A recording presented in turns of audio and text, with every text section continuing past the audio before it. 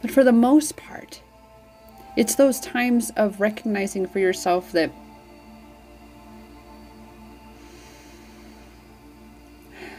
that maybe, just maybe,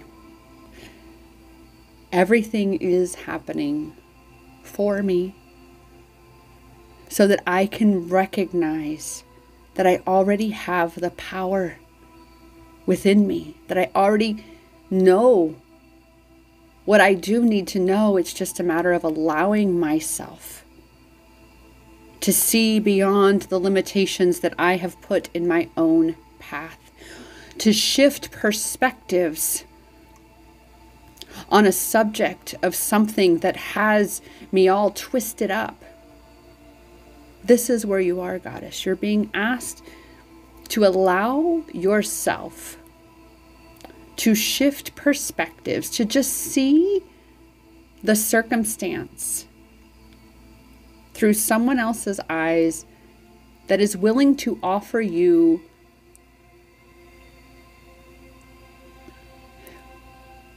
a vision of where maybe, just maybe, you can see where your power is.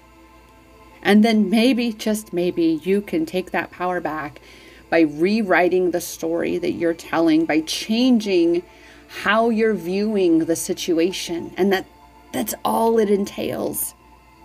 Is a simple perspective shift to create that ripple effect, that domino effect that tips the scales in your favor so that you get out of your own way.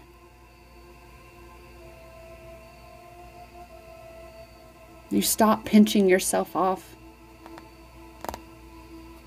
You let yourself dream the dreams that you desire to dream. No matter how magnificent or finite they may be.